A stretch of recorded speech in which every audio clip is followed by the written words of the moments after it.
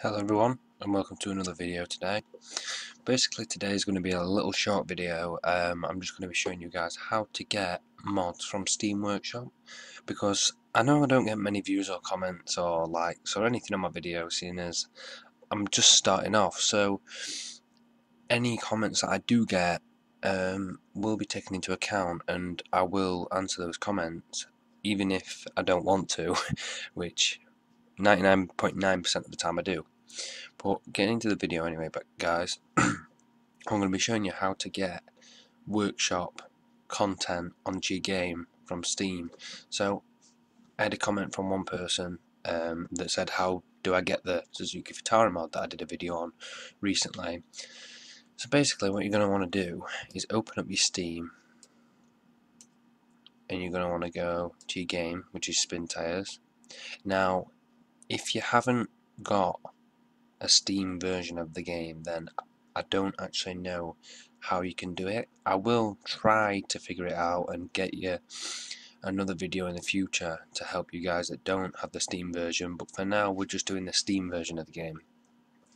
Um, as far as I know if you have the game you can still use Steam and go through store to get to the Steam Workshop to browse the workshop content for Spintires But without further ado, what we're going to do is we're going to click Browse Workshop just at the bottom of the page on the Spintires part of the library and basically it's going to come up with all these mods like a little page for themselves.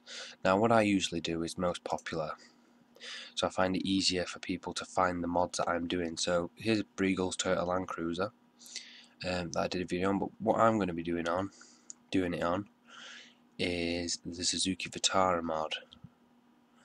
Now, I did tell you guys in the last video that it does actually come in more than one and I was saying about how it'd be good for a three door and I didn't actually know that it did come with a three door but because I'm proving ground you have that many vehicles to choose from you can't find them so here are all the cars if you guys were wondering and this is the one that I did the video on. Um, and I'm gonna I'll, I'll stick to that one for now. I may do a video of the three door in the future because personally that's my favourite but what you're to want to do is subscribe here. As I'm already subscribed um, I'm going to actually show you on another one. I know I just contradicted myself but I'll show you on another mod that I don't have.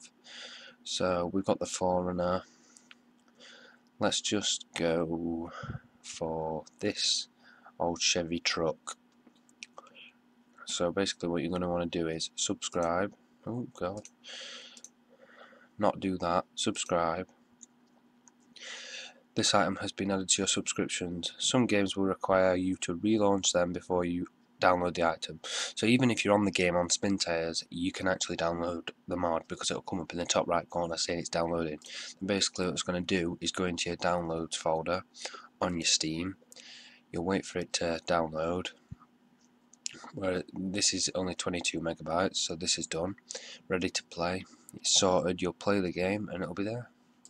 I would show you guys that but it's going to be so difficult to find the mod through all my mods but that is how you do it. That is the simplest simplest way to get mods. I was impressed by it when I first ever started uh, using Steam Workshop because I used to always copy and paste all the shite part of my French into the game and into the game director and it was a ball ache and it was horrible. So I hope you appreciate this video guys. I hope you enjoy this video. I hope you've enjoyed my current videos.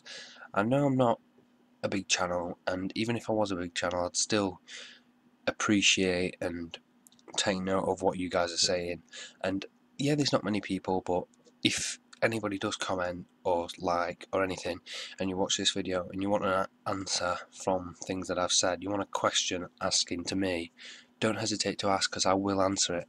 I know some people don't answer it but because they have a lot of questions asked but I'm on a minimal scale at the minute and I won't I would love to answer some of your guys' questions. So anyway guys, I hope you've enjoyed this video. My name's been Tom and I'll catch you in the next one.